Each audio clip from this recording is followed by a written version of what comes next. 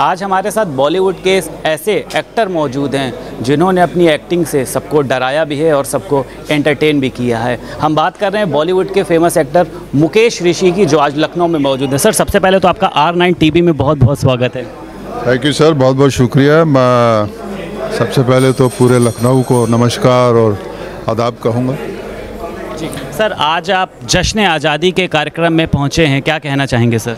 मुझे खुशी है, मुझे मेरे मित्र मारूफ साहब जो हैं उन्होंने जब इस बात का ज़िक्र किया कि इस तरह का फ़ंक्शन ऑर्गेनाइज होता है तो मुझे अच्छा लगा ये सुन के, क्योंकि इस तरह की चीज़ें पसंद करता हूँ मैं भी, जहाँ लोग आते हैं और ऐसे मौके के ऊपर जब आज़ादी की बात हो तो हिस्सा बनने में मुझे खुशी है इस बात की। और लखनऊ में मैं शायद पहली बार ही आ रहा हूँ, मैं आया नहीं कभी तो दोनों काम हो गए आज़ादी की दिन भी है और पहली बार भी आ रहा हूँ मैं यहाँ तो मुझे बेहद खुशी है कि इस फ़ंक्शन का मैं हिस्सा बन पाया मुकेश जी नवाबों के शहर लखनऊ में मौजूद हैं। यहाँ की नवाबी कही जाती है कि पूरे विश्व में मशहूर है। तो क्या कहना चाहेंगे आज लखनऊ में आप मौजूद हैं लखनऊ पहुँचे हैं कहाँ घूमने का प्लान है और क्या ख़रीदने का प्लान है?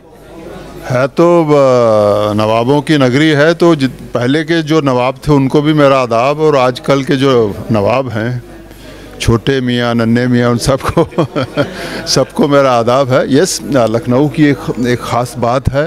वो द यस लखनऊ की एक एक पोजीशन है। उसका एक रहन सहन है जो मतलब जितने भी हिंदुस्तान के लोग जो इन चीज़ों को समझते हैं, उनके दिल में पता है, जिस तरह हमारे कई और सिटीज़ हैं। तो लखनऊ एक ख़ास जगह है, ख़ास इसका तरीका है। तो कहानियों में बहुत देखा है, फ़िल्मों में बहुत देखा है, बहुत सराहा है उस वक्त का जो स्टाइल हुआ करता था। तो मुझे खुशी है कि इस ऐसी नगरी में जहाँ अभी मारूफ साहब मुझे बता रहे थे कि 25-30 साल पहले तो वो मुझे पीछे ले गए कि उनकी कुछ फ़िल्में यहाँ शूट हुई थी, या बड़ी बड़ी फ़िल्में यहाँ शूट हुई थी। राजेंद्र कुमार साहब की यहाँ आरज़ू जैसी फ़िल्में यहाँ शूट हुई थी। तब तो खुशी है ऐसी नगरी में आके। और आज भी मैं कुछ जो अभी गाड़ी से आए हैं तो ऐसा लग रहा है कि काफ़ी चीज़ें वैसी की वैसी हैं जैसे पुराना शहर देखा मैं। आपने अपना करियर जो है वो मॉडलिंग से शुरू किया था फिर उसके बाद आप बम्बई आए। तो आपका सपना विलन बनने का था या हीरो बनने का था? नहीं हीरो का मेरे मन में कभी ख्याल नहीं आया। उस वक्त जो मैं बनना चाहता था उसी को मैंने फॉलो किया।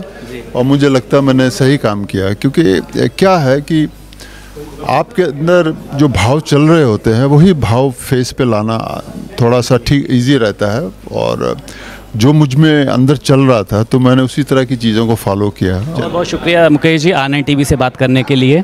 थैंक यू सो मच आप सबको भी जो लोग देख रहे हैं इस इंटरव्यू को बहुत बहुत शुक्रिया और लखनऊ को फिर से एक प्यार बड़ा आलाप। तो हमारे साथ थे ज़िंदा दिल एक्टर मुकेश ऋषि जी, जिनका साफ़ तौर पे कहना ये है कि मैं जो काम करता हूँ, दिल से करता हूँ और हमेशा दर्शकों के लिए ही करता हूँ। संदीप खे, कैमरा पर्सन प्रियांश के साथ आर नाइन टी लखनऊ।